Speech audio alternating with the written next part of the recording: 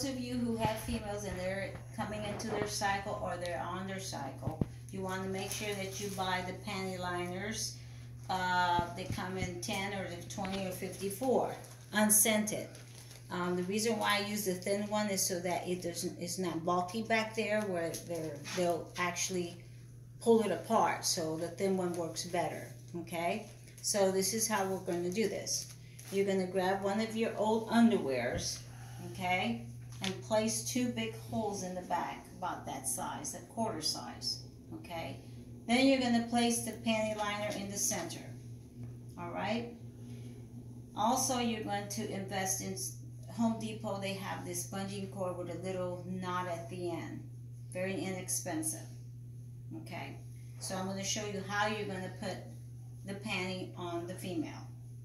All right. Miss Gold is our model here, so Gold she's kind of model. expert at this. Okay. Of course, you're going to put one on each leg. Here it goes one. She goes, my goodness, other. how many times you guys are going to do this before you get it right? wondering why the two holes at the end?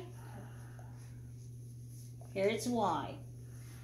You have to come over the tail like this, and the two holes that you created, you're going to bring them together.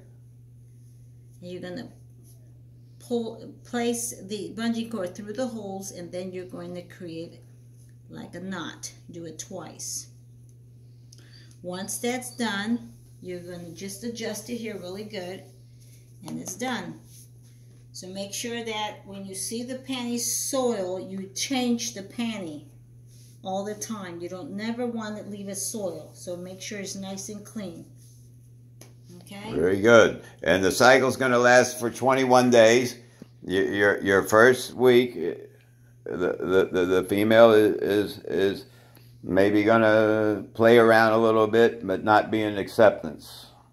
The second week, after her LH surge, she will enter into the week of acceptance. Be sure your female is in her crate and behind at least one locked door. if you're going outside or trying to, to, to go to the garage or what have you, be very careful. I, I recommend that that female is placed in a room, in a crate, before you even attempt to go out one of the doors that will le- lead the female to get to the outside because during the next week, this middle week, she is going to be very active and looking for a mate, whether it's a Chihuahua, Rhodesian Ridgeback, or a Great Dane. A female during this period of time is very excited and, and wants to do what Mother Nature is instructing her to do. So, after the third, the uh, second week, you go into the third week, and that's what's the week of rejection. So, if you were breeding, the female at this point would not let a male mount her. So, your first week is a dark blood, your second week is a light blood, and your third week uh, depends on your female, but it sometimes goes back to a darker blood.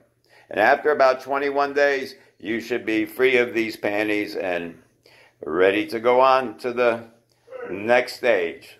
I recommend for you folks that are not going to uh, breed your dog, which I believe is everybody, that this is probably a pretty good time to wait a few more months and have her spading done so her hormone level is balanced out evenly.